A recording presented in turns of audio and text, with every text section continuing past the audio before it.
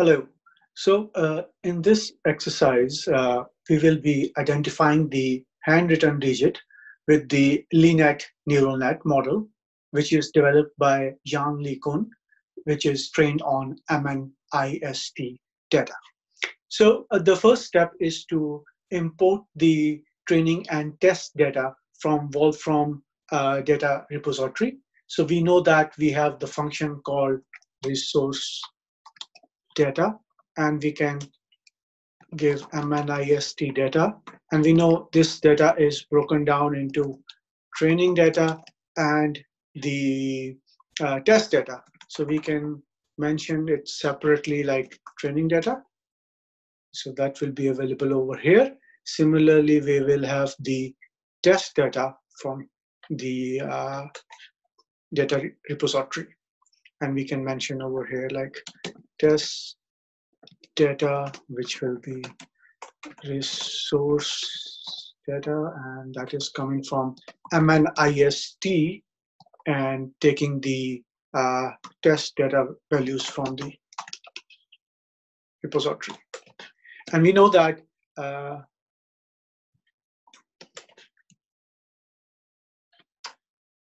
sorry. So we know that there are like uh, 60,000 training data points over here and 10,000 images over here. So uh, in the next step, I ask you to look at the random sample, uh, seven examples from the training set. So in Wolfram language, we have the function called random sample, which can be called for the training data, and we can give it the argument seven. So we can get to look at the seven random values coming from the seven data uh, points. So we can see that we have an image and it is associated with any digit. So this is uh, affiliated with one, this is two, and the image is uh, correspondingly uh, pre-labeled over here. So in the uh, next step, I ask you to obtain the pre-trained net model from uh, Wolfram Net repository.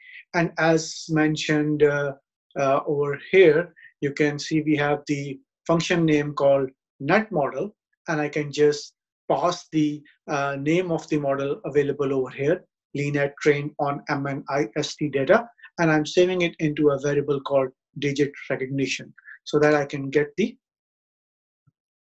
model over here. I can see it has like almost 11 layers starting from the convolutional layer and ending with the softmax and the output is a class with the dimensions 10 and the vector size of 10 over here. So the next step I ask from you is to perform the testing on the model. So what we, I'm doing over here and what I ask from you is to take a rumble, uh, random sample of the data. So what will happen if you don't uh, parse it? So what would have been happened is you would have a data like this, but I just need the images over here. So I can just uh, take part the first value from it. So I can have these values over here saved in this variable test. And then I can call the same uh, neural net and pass this images into that and see how my test results looks like. And it seems that the uh, model has uh, pretty is pretty accurate. So in the next uh, section, I ask you to uh, take this image as an input and find the uh, probabilities for this. So basically what I'm doing over here is just saving this image into this variable and then passing it to the neural net and asking for the probability properties.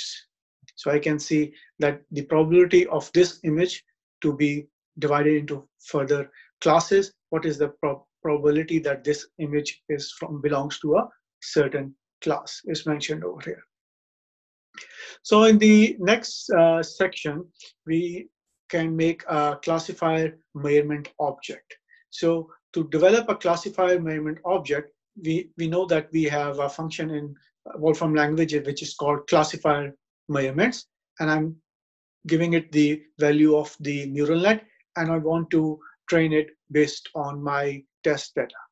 So once I'm able to evaluate this, I'm also saving, I'll get the uh, classifier measurement object over here. So once I have the object available, I can explore it further to get prop, uh, properties like I can ask the accuracy for this model. So this model is 98.5% uh, accurate. I can also look at the confusion, met confusion matrix plot. So any property I want to enter over here, I'll just give that into this uh, classifier environment object and it will get me that specific property over here. So in the next section, uh, section, what I wanted to do is to get more information about this uh, uh, net.